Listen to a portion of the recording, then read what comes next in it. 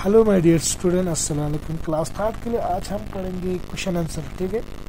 Chapter number sorry fifth का question answer तो इससे आपका चैप्टर नंबर फिर फिर आज क्लियर हो गया, ठीक है? तो इससे आपका चैप्टर नंबर फिफ्थ आज कंप्लीट हो जाएँगे तो इनशाला मुझे उम्मीद है कि आप लोग सब खैरियत से होंगे और घर भी आप लोग अच्छी तरह होंगे और मेहनत करते होंगे।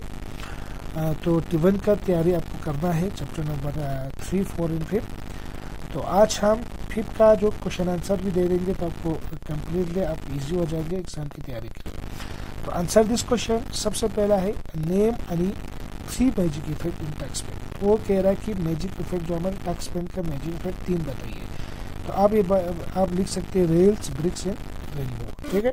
ये तीन आप लिख सकते हैं आंसर के लिए। सेकंड है वो कह रहा है कि विच टूल कौन सा टूल है? Is use to type text on the drawing canvas के अंदर टेक्स्ट तो ये आपके लिए टेक्स्ट टूल है। तो आप डायरेक्टली लिख सकते हैं टेक्स्ट टूल टी को आप कैपिटल में लिख लीजिए टेक्स्ट टूल में लिखिए ठीक है? इसके बाद three name two magic effect that do not work on a blank canvas तो ये होता है चार and name two magic effect है चैक एंड जिप लिख सकते हैं ठीक है?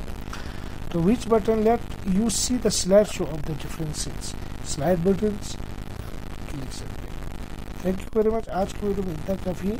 तो नेक्स्ट में आपको कोशिश करूँगा रिविजन करने की हमारा चैप्टर ठीक है? Thank you